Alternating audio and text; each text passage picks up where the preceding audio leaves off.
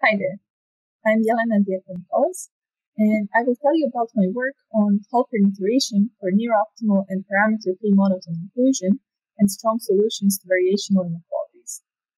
The main motivation for this work are convex concave min-max optimization problems, also known as saddle point optimization problems as shown on the slide. There are many different applications of such problems, such as in game theory, engineering, mathematical programming, and so on. Within machine learning, we most frequently use them to model adversarial training. The way we study these problems is through a further abstraction known as the monotone inclusion. Monotone inclusion is defined with respect to monotone operators. These are maps from RD to RD that satisfy this inequality we see on the slide for all x and y. In particular, for our motivating min-max optimization problems, we can construct a monotone operator by stacking on top of each other the gradient with respect to the convex part of this function lowercase f and the negative gradient with respect to the concave part of the same function. Now our new vector of variables u would be constructed by stacking on top of each other these vectors x and y. This newly constructed uh, operator, capital F of u, is well known to be monotone. In this case, our feasible set would be the product between the feasible sets for x and y. The monotone inclusion consists in finding a point u star such that the zero vector belongs to f of u star plus the subdifferential set of the indicator function of this uh, feasible set u.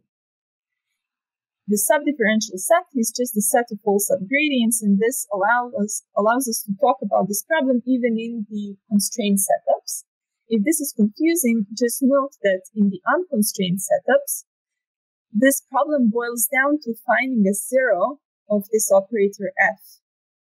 Or in other words, if you go back to our min-max optimization problem, it consists in finding a point with a zero gradient, also known as a stationary point. Now, in addition to monotone inclusion that we have just defined, another standard way of uh, abstracting away min-max optimization problems is through the lens of variational inequalities, uh, there are two types of solutions that uh, one considers in, in, this setting those known as weak solutions and those known as the strong solutions. Here in the definition, the only difference is uh, in terms of the point at which we evaluate f. Uh, for weak solutions, it is an arbitrary u from the set. For strong solutions, it is u star, which would be the uh, optimal solution. Now, a standard and well-known fact is that uh, when f is monotone, which is the case for all problems considered uh, in this work, then there is no difference between solutions to monotone inclusion or weak and strong solutions to variational inequalities. All of them are equivalent. However, once we start talking about approximate or computable solutions, there is a very big difference. And now let me first tell you what uh, approximate solution means. So here we uh, fix some target error epsilon, which would be some small non-negative number. And for monotone inclusion, this means that on the right-hand side, we add a ball of radius epsilon. In the unconstrained setup, this would mean that we allow uh, this uh, vector f at point u star epsilon to be at most epsilon. And similarly, we can define approximate solutions uh, for weak and strong variational inequalities. The way we do that is uh, by replacing the zero on the right hand side by the small epsilon. Now, here the situation becomes quite interesting because, first of all, if our problem is unconstrained, meaning if the feasible set U is unbounded, approximating either weak or strong solutions to variational inequalities makes absolutely no sense at all.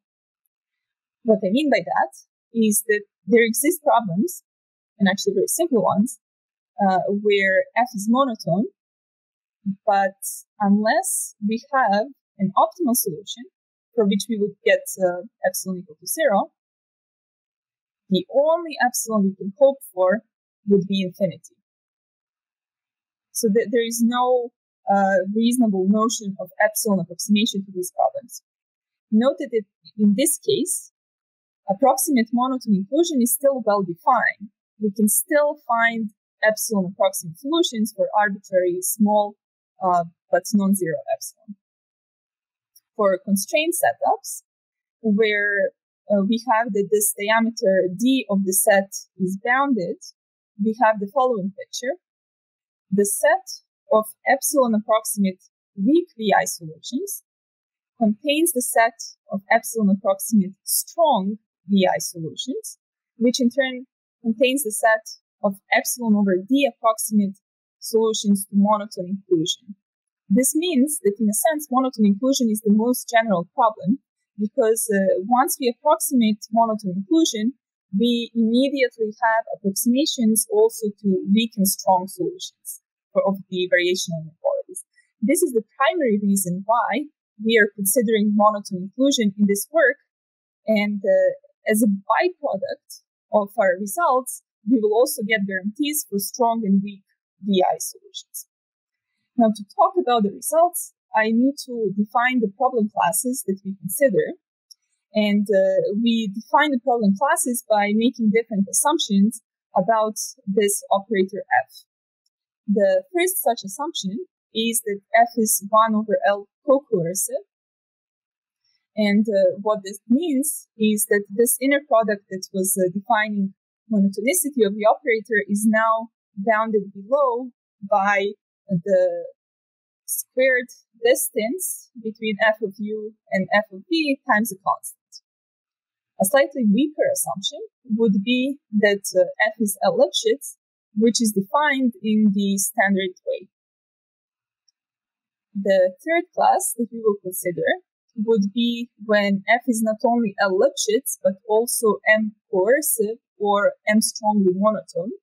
Uh, what this means is that the inner product we saw before is now bounded below by a constant times the distance between u and v squared.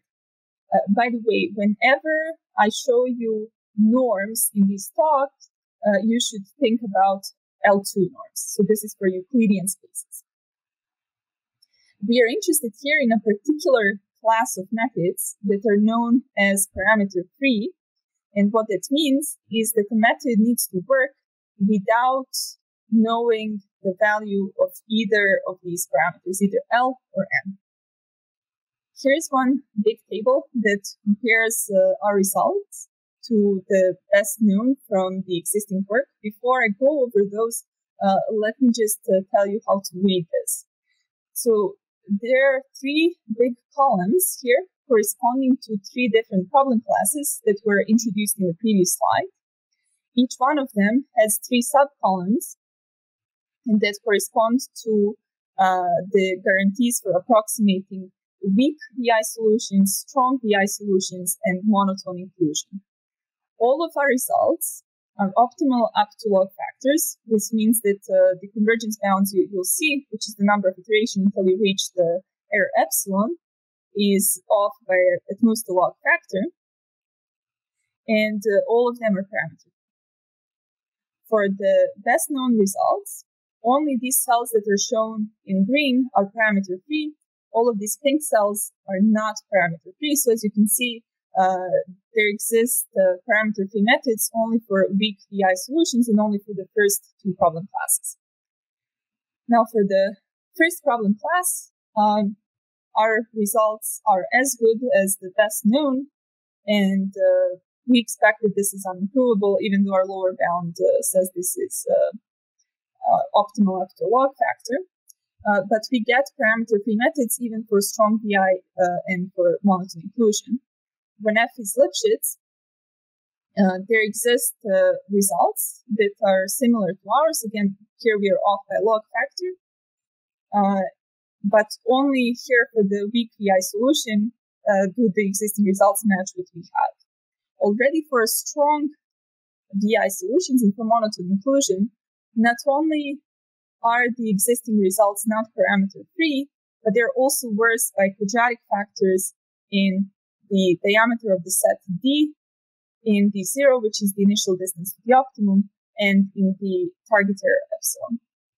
For Lipschitz and strongly monotone operators, here our results are off by a factor log L over M from the best known.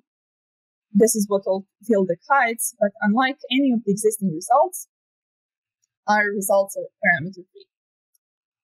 The way we get these results is uh, through the use of something known as the Halpern iteration. This is a well-known iteration used for solving fixed point equations of non-expansive maps. So non-expansive maps are just one Lipschitz maps. These are very well studied in the literature, uh, and there is a recent result due to Lieder that shows that iteration like this converges at rate 1 over k, Lieder obtained this result using the very powerful PEP framework of Drori and Teboulle. Uh, however, what is unfortunate about the use of this framework is that it is uh, computer assisted and it results in analysis that are typically unintuitive and not very easy to generalize to other settings. Now, the reason that looking at uh, non-expansive maps is useful here is that in a sense they're equivalent to co-coercive maps. We can construct non-expansive maps from co-coercive maps and the other way around. So if we wanted to uh, apply Halpern iteration, we could do it in this way. And now we could get 1 over k convergence for this Halpern iteration just applying the results of Lieder. However, this would require us to know L, and as I said before, we want methods that are parameter free. So what we do here to get a parameter free method is we introduce a new analysis of this method. Our analysis is based on a new potential function that we introduced as shown on the slide, where here Lk is our current guess in iteration k for, for the co-coercivity parameter, and lambda k is the step size. The way that the analysis works is by arguing that this ck is non-positive for all k, because then, just by rearranging ck less than or equal to zero, we get the following. What we do is add and subtract u star on the right hand side. The second expression here is non-positive by u star solving this problem, actually by it being a weak solution. And uh, then it remains to apply Cauchy-Schwarz and divide both sides by the norm of f of uk. What we get in the end looks like this. So to get 1 over k convergence, it remains just to argue that uh, our estimate LK is not too bad and that the step size lambda k uh, grows as uh, order 1 over k. We also extend this analysis to other setups, such as uh, constraint optimization. Uh, we also extend it to the setups with monotone Lipschitz operators or second class. This uh, actually requires the analysis to be able to work with inexact evaluations of these monotone operators. Uh, we also extend these results to setups with strongly monotone Lipschitz operators by using adaptive restart. And finally, we certify near optimality of all the results by using um, lower bound reductions between a known lower bound for min-max optimization due to Wu and Su and the different problem classes that we consider here one very strong reason why I think our community should give much more attention to Halpern iteration is that it is an implicitly regularized method, which means that uh, if the solution is non-unique, then the method always converges to the point that is closest to the initial point. It, uh, particularly if we started from zero, we would get a solution with a minimum norm. This is illustrated in the examples shown on the slide, where the pink rectangle is the uh, set of all solutions.